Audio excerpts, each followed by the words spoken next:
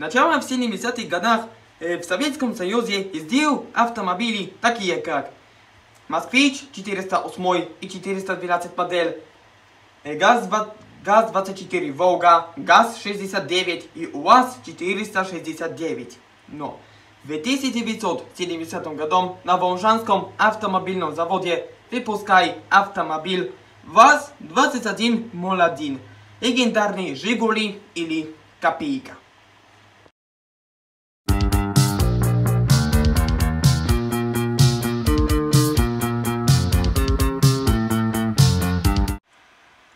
Witajcie towarzysze, jestem Kaspi 125P i witajcie w szóstym odcinku serii Samochody PRL. W dzisiejszym odcinku moim bohaterem jest Was 2101 Żiguli lub Kopiejka. Zapraszam. Dokładnie. Dzisiejszym moim gościem jest Was 2101. Jeżeli ktoś się zapytał skąd ta nazwa Kopiejka i dlaczego się pojawiła, czas przejść do historii. Was 2101 został, został wyprodukowany 11 kwietnia 1970 roku. To wtedy Wąża- Wążański Autozawod, w skrócie WAS, podpisał 4 lata wcześniej umowę z włoskim, z włoskim koncernem Fiat, a konkretnie na model 124 i na, i na podłodze Fiata 124 yy, były rozbijane modele Żiguli.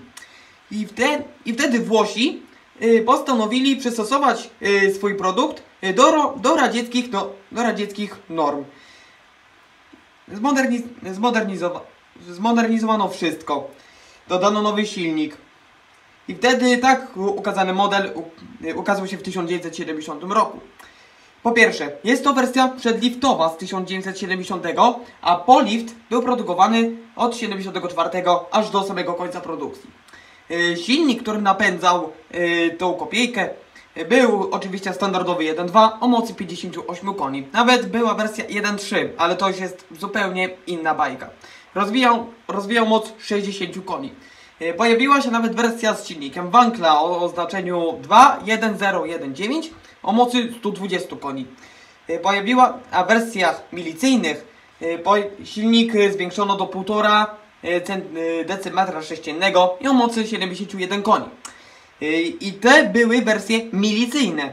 Yy, I ten, I ten sam silnik o, o pojemności 1,5 li- yy, decymetra sześciennego były montowane już w wazie 2103. No dobra, czas przejść do stylistyki.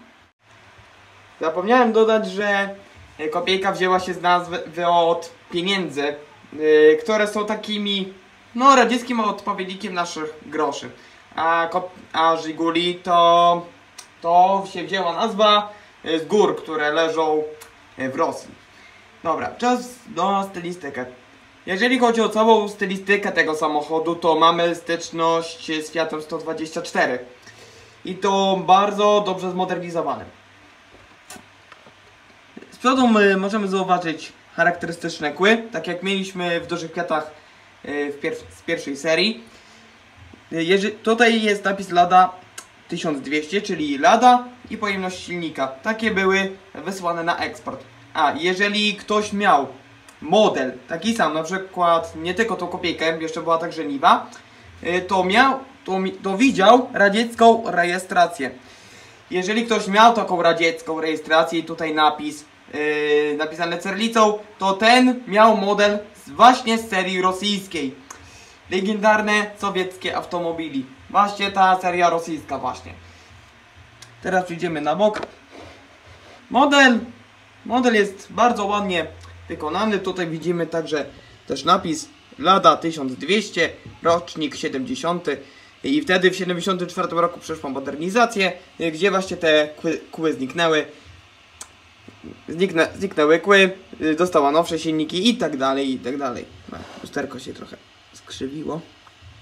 O, już poprawiłem. Ten model, który mam, to wersja eksportowa, bo tutaj jest napisane Lada, a tutaj, a Lada y, było napisane z tej strony, a nie z tej, więc może być to błąd y, producenta, ale, ale to nie zmienia faktu, że to jest wersja eksportowa.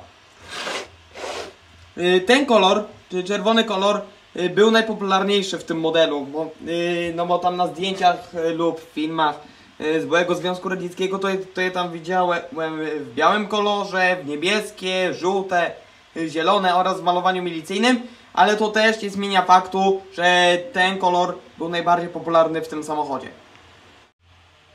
W środku zauważymy my fotele bez zagłów, bez zagłówek, tak jak, tak jak typowe dla radzieckich aut z lat 70. To, to samo co kanapa, ale i tak jest ładnie wykonana, bo są pomalowane. Oraz zauważymy prędkościomierz. Nie wiem, czy to będzie dobrze widać. O, z tej strony wam pokażę. O, o, te, o teraz już tak bardziej widać. O, tu, o tutaj tak, o tutaj taka, o tutaj taki długi kij. To jest właśnie, yy, właśnie jest ta gałka zmiana biegów. Taka długa była w samochodach radzieckich z tamtego okresu. Oraz, oraz te czarne wycieraczki, co do tego modelu to według mnie nie pasują. No bo powinny być chromowane, tak jak yy, w pierwszych modelach tej kopiejki, bo wycieraczki były chromowane, a potem, a potem już w późniejszych modelach zastąpiono na takie czarne.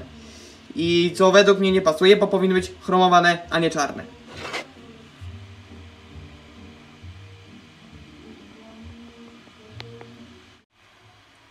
Y, Kopiejkę y, oficjalno y, zakończono w 1988 roku. Y, Z, wołżańskiej, y, z wołżańskich zakładów samochodowych wyjechało ponad 4 miliony egzemplarzy. Rozumiecie? 4 miliony egzemplarzy przestarzałego Fiata. To było na tyle, jeżeli chodzi o kopiejkę. Zostawcie subskrypcję, łapkę w górę i mam nadzieję, że do końca wakacji zdobędziemy 400 subskrypcji. Ja się z wami żegnam. Cześć.